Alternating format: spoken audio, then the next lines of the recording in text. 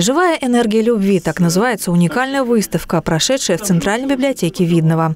Более 120 работ выполнены художницей Людмилой Беляковой, ученицей знаменитого ученого и художника Владимира Ероля, автора техники гравюры на металле. Это и портрет, это и философия, это и пейзаж, конечно.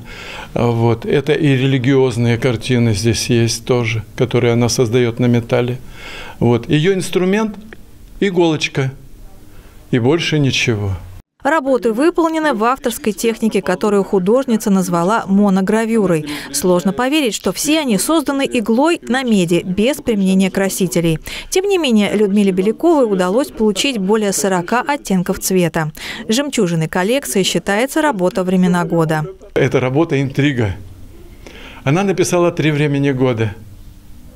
Это красивейшая работа, пейзаж и не указала, какие времена года она нарисовала. И на весь мир объявила э, о загадке.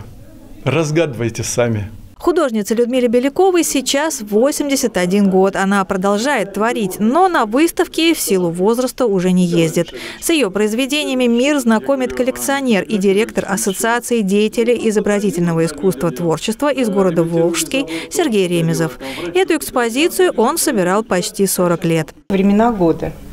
Вот сама природа, вот что ее так передать, вот, и на металле и столько цветов – это просто ну, какое-то чудо. Каждое произведение – это шедевр.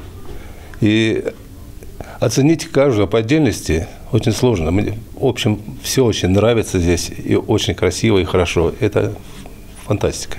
Экспозиция «Живая энергия любви» уже побывала в 28 странах. После Видного она отправится в выставочные залы Турции. Екатерина Борисова, Галина Житкова, Александр Логинов, Ольга Садовская. Видное ТВ.